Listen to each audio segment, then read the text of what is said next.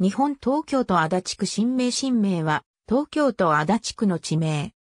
現行行政地名は、新名1丁目から3丁目。住居表示実施済み区域である。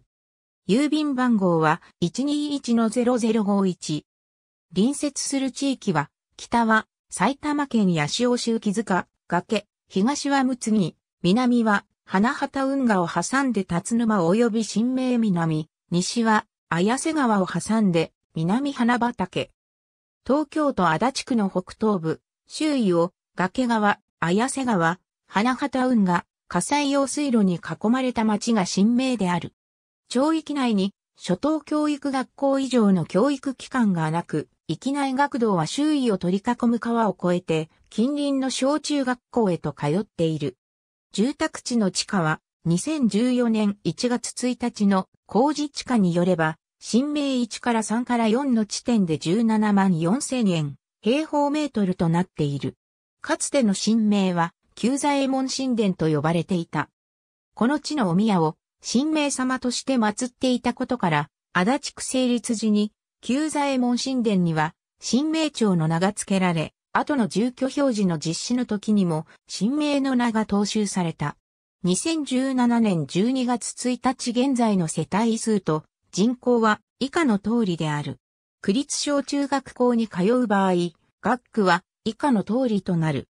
なお、足立区では学校選択制度を導入しており、区内全域から選択することが可能。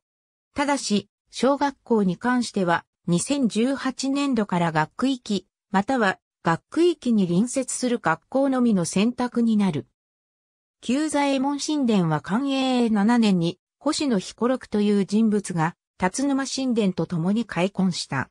当時は土合村と呼ばれていたのが彦六の子である旧左衛門の時代に旧左衛門神殿と呼ばれるようになった。元禄8年の検地の時に旧左衛門が願い出た時に旧左衛門神殿と改められたと言われるが、商法の頃の記録にはすでに、旧左衛門神殿と記載されている。AB、足立区の町定別の世帯と人口。足立区。2017年12月7日閲覧。AB、郵便番号。日本郵便。2017年12月7日閲覧。市外局番の一覧。総務省。2017年12月7日閲覧。国土交通省地下工事。都道府県地価調査、区立小中学校の通学区域表、通学区域図、足立区、2017年12月7日閲覧、学校選択制度について、足立区、2017年12月7日閲覧、小学校の学校選択制度の改正について、足立区、2017年12月7日閲覧、ありがとうございます。